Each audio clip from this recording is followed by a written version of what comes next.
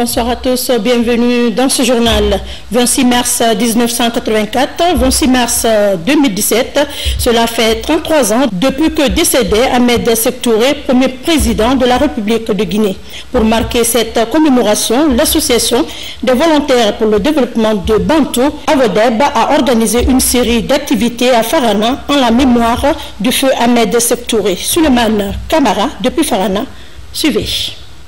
À Bantou, un village situé à 18 km du centre-ville de Farana, l'association des volontaires pour le développement rend hommage à Ahmed Sékou Touré, premier président guinéen.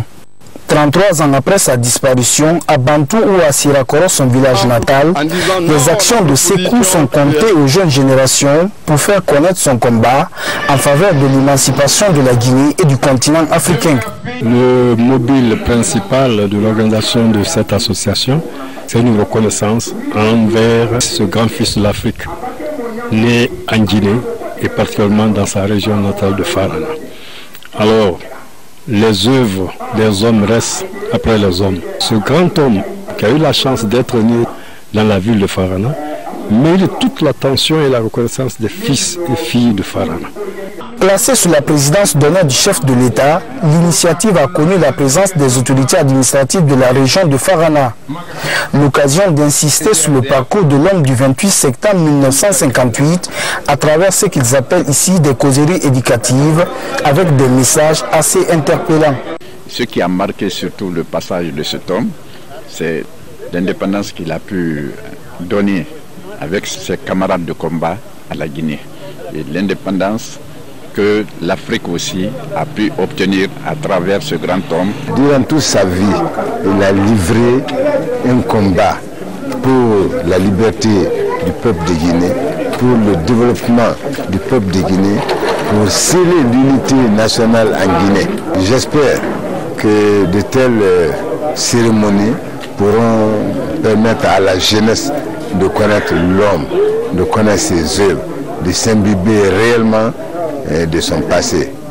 Pendant ces assises de Bantou, des séances de lecture de Coran ont mobilisé de nombreux fidèles de Bantou et de Sirakoro, des villages de tradition musulmane qui ont vu naître et grandir le président de la Guinée indépendante, décédé le 26 mars 1984. 33 ans après, Ahmed Sékou Touré reste dans les souvenirs du peuple guinéen autour de la carte d'identité nationale. En plus du non-respect du prix fixé à 15 000 francs, une magouille est aussi organisée autour de ce document. Il s'agit de la falsification. Elle est organisée par des agents corrompus qui soutirent 50 000 francs à chaque citoyen qui désire acquérir une carte d'identité nationale. Yamoussa Bangoura. La falsification de la carte d'identité nationale. La problématique des cartes d'identité nationale n'en finit pas. L'affaire fait couler beaucoup d'encre à Conakry dans les régions. À ce jour, on assiste à la délivrance de ce précieux papier contre paiement de fortes sommes d'argent. Le prix officiel fixé à 15 000 francs guinéens n'est plus respecté. Puis, une haute magouille est organisée autour du document. Sur le terrain, on constate la dépravation et la dévalorisation de ce précieux document par technique de falsification savamment menée par des agents corrompus qui soutirent 50 000 francs à chaque citoyen. Or, la falsification des documents officiels est une pratique sévèrement punie par nos lois. Les fausses cartes d'identité sont délivrées aux citoyens en raison de 50 000 francs l'unité. À quand la prise de conscience par les responsables en charge de la délivrance de ces cartes d'identité nationale?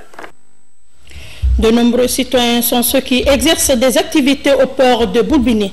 Leur revenu journalier, plus ou moins considérable, leur permet de joindre les deux bouts.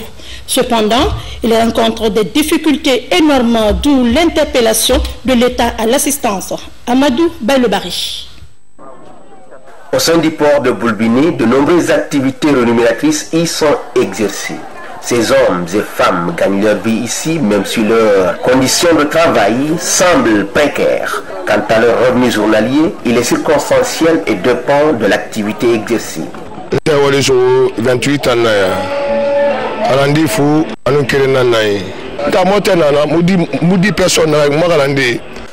Je suis ici il y a de cela 28 ans. Avec mes 11 apprentis, je peux préparer environ 10 moteurs par jour, juste pour 50 000 francs.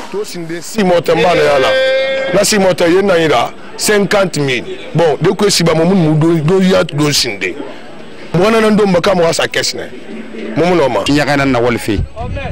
mine ba ma naraba de ça 6 jours À l'espace d'une semaine dans la mer, si la pêche donne bien, je peux me retrouver à 250 000 francs ou 300 000 francs au maximum. 250 000 si nasto dans 300 à Naki. Sous le soleil ou la pluie, ces hommes en mouvement perpétuel expriment leur volonté de travailler pour le développement du secteur informel, mais ils se sentent abandonnés par l'État qui est le seul garant du cadre de travail. Nous demandons à l'État de nous assister en nous facilitant l'obtention des pièces à rechange et de filets adéquats, car l'aisance de la ville dépend aussi de la pêche. Ainsi, lançant un appel aux hautes autorités concernées, il faut noter que le contrôle et l'assistance aux différents travailleurs de ce port devraient être une priorité. La pollution de l'environnement est de plus en plus récurrente en Guinée. Au port de Boulbiné, les citoyens cohabitent avec l'état d'immondice constitué de sachets plastiques, un phénomène qui n'est pas sans conséquence sur la santé humaine. C'est Kouketa. Nous sommes au port de pêche artisanale de Boulbiné. Ici, marchands et acheteurs cohabitent avec les ordures de tout genre, à majorité constituées de sachets plastiques qui polluent l'environnement.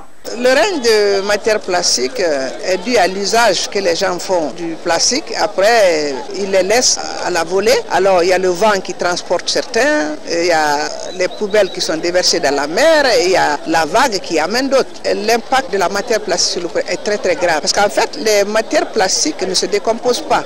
Euh, les chassés plastiques, comme on aime le dire dans le jargon environnemental, on dit pollueur-payeur. Je pense que tout le monde sait que les chassés plastiques, c'est des substances non biodégradables. Et donc, il faudrait les gérer avec dextérité. Parce que quand vous les laissez dans la nature, ça infecte la nature et ça ne permet pas réellement l'évolution alors euh, ou l'épanouissement de la santé dans ce milieu. Sur le site, les personnes mal intentionnées sont pointées du doigt. Le problème de sachets plastiques n'est pas bon. Ça a complètement dénaturé notre mer. Sinon, notre présidente nous mobilise chaque semaine pour assainir ici. Mais il y a des individus qui viennent déverser les ordures. Ça ne peut pas marcher. Comme d'autres débarcadères de la capitale, le port de pêche artisanal de Boulbina est dans un état d'insalubrité en matière de déchets plastiques qui ne dit pas son nom. Si rien n'est fait, cet endroit risque d'être fermé. Faisons un tour de la Guinée profonde pour signaler que nombreux sont ceux qui s'investissent dans la terre nourricière. C'est le cas de Toba Traoré qui a initié une pépinière de million cent mille pieds de cacao. Le but est de valoriser 400 hectares de terre à Guéasso et Fambandou. Amadou Touré. Avec la place qu'occupe actuellement le commerce du cacao dans l'économie mondiale, nombreux planteurs de la région forestière s'impliquent activement. C'est le cas de Toba Traoré, administrateur planteur. Il a initié une pépinière d'un million cent mille pieds de cacao à Zérékoré. Objectif, valoriser 400 hectares de terre à Guéasso et Fumbadou. Pour y parvenir, des ingénieurs agronomes sont venus de la Côte d'Ivoire, premier pays producteur de cacao au monde. Nous sommes à la réalisation de 10% de l'objectif et je pense que d'ici février, on aura fini totalement la mise en place de cette pépinière. Depuis qu'il a créé sa plantation, tout l'eau là, tout zéro a commencé effectivement à faire du cacao. C'est l'espèce à cycle rapide de croissance de 18 mois qui est utilisée. Il vise à atteindre l'objectif fixé par les initiateurs, celui de faire de la Guinée un grand pays producteur de cacao. J'ai passé une partie de ma vie en Côte d'Ivoire et je sais que le miracle ivoirien dont on a parlé est basé sur l'agriculture. Donc quand nous revenons chez nous, il est de notre droit d'essayer de, reproduire le même modèle, sinon de copier ce qu'on a vu ailleurs. Et heureusement, le chef de l'État aujourd'hui, qui a fait également ce pays, est euh, dans cette vision. Nous nous proposons de faire de, du cacao du palmier, de l'anacarde. À côté de la plantation de cacao, le groupe initie également l'aviculture pour satisfaire la demande de la région. La finale du tournoi de la deuxième édition dotée du trophée Feu Président Med Sekoutouré qui s'est joué au complexe Blue Zone de Dixine. L'initiative est de l'Association des jeunes pour la paix et le développement. Une façon de donner un éclat particulier à la date du décès du premier président, Kefala Prescamara. C'est dans une ambiance festive que le coup d'envoi de la finale de la deuxième édition du tournoi de football doté du trophée Feu Président Ahmed Sekou a été donné au mini-stadium de la Blue Zone de Dixine. Cette rencontre a mis aux prises l'équipe de FC Signora en rose-bleu à celle de Fair Play.